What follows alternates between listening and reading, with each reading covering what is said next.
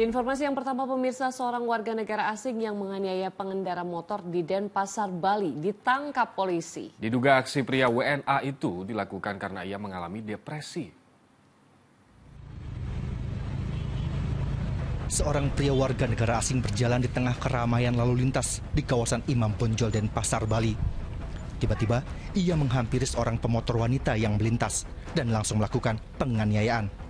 Rekaman peristiwa yang terjadi pada 12 Juni lalu itu tersebar luas di dunia maya. Petugas kepolisian sektor Kuta berhasil mengamankan pelaku yang belakangan diketahui warga negara Jerman. Menurut petugas, selama diamankan di Polsek Kuta, pelaku kerap mengalami emosi yang tidak stabil. Pelaku mengaku kedatangannya ke Bali tujuh bulan lalu untuk liburan, usai mengalami permasalahan keluarga. Diduga, aksi pria WNA itu dilakukan karena ia mengalami depresi. Pelaku juga sempat dilaporkan pemilik villa karena melakukan perusakan dan pengancaman dengan senjata tajam terhadap karyawan villa.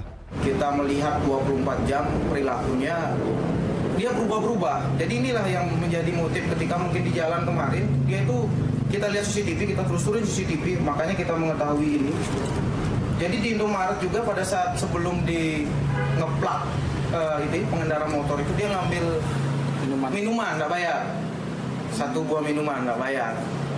Nah itu. Saat ini, pelaku masih menjalani pemeriksaan intensif di Polsek Kuta. Petugas juga akan melakukan pemeriksaan terkait kejiwaan tersangka. Pelaku akan dijerat dengan pasal tentang senjata tajam dengan ancaman hukuman maksimal 10 tahun penjara. Arianto Hutapea melaporkan dari Badung, Bali.